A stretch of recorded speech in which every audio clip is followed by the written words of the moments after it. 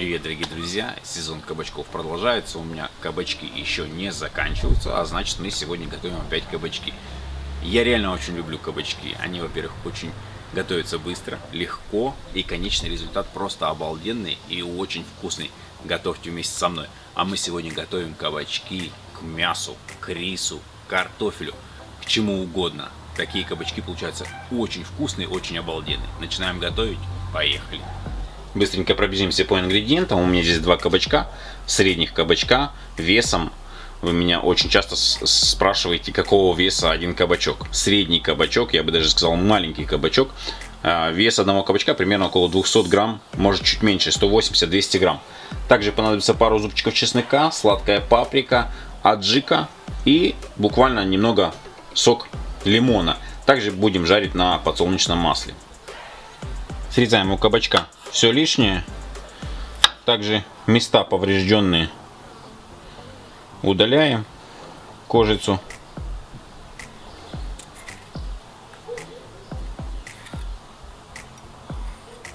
А нарезать буду кубиком. Разрезаю примерно на три части.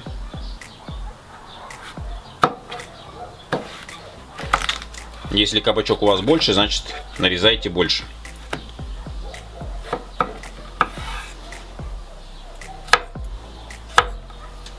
Вот на такие кусочки нарезаем кабачки.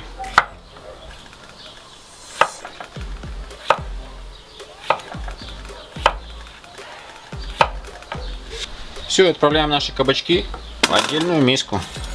Мы сейчас их замаринуем. Добавляю чайную ложку аджики. Я использую аджику грузинскую. Вы можете использовать простую какую-нибудь аджику, даже просто сухую. Так, добавляю сладкой паприки пол чайной ложки. И отправляю через чеснокодавку чеснок. Чеснок придает обалденный вкус и также аромат нашим кабачкам. Обязательно используйте. Получается очень вкусно. И буквально пару капель лимонного сока. Достаточно.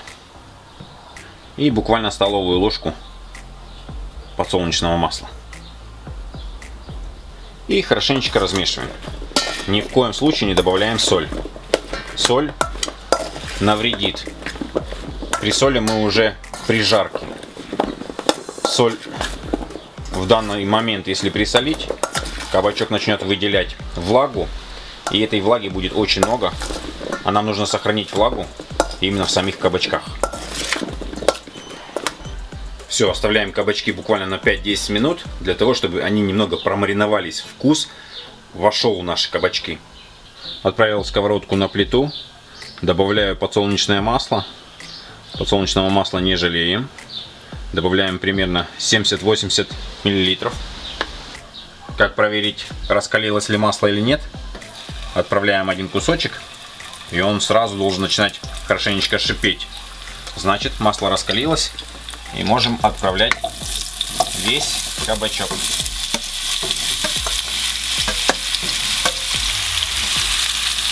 Сковородка у меня большая, примерно на 28 сантиметров, может 26. Но в идеале, конечно, жарить большой сковородке одним слоем, для того, чтобы все кусочки равномерно прожарились. Это обязательно. Мы их не тушим, мы их обжариваем. И я люблю их жарить так, чтобы они не были сильно пережарены, а именно оставались немного хрустящие. Вы уже смотрите, конечно, по своему вкусу. Можете их пережаривать немного, а можете жарить именно как я. Каждой стороны мы обжарим примерно по 2-3 минуты. Я буду перемешивать примерно около 4 раз. Напоминаю еще раз, не солим, солим в самом конце. Осталось буквально 3 минуты до полной, до полной готовности уже наших кабачков. Присаливаю. Не раньше, именно в этот момент. Две щепоточки соли достаточно. Аромат исходит обалденный, друзья. Обязательно приготовьте. Такие кабачки получаются реально очень вкусные.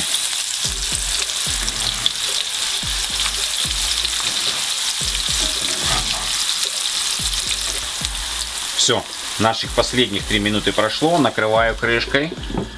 Выключаем нагрев и оставляем еще на 3 минуты.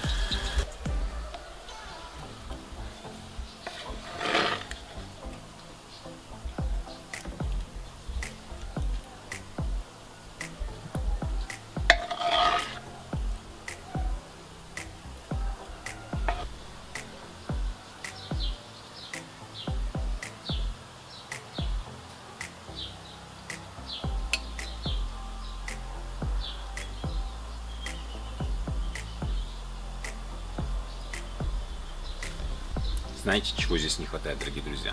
Шашлычка. Вкусно прожаренного, с красивой корочкой. М-м-м.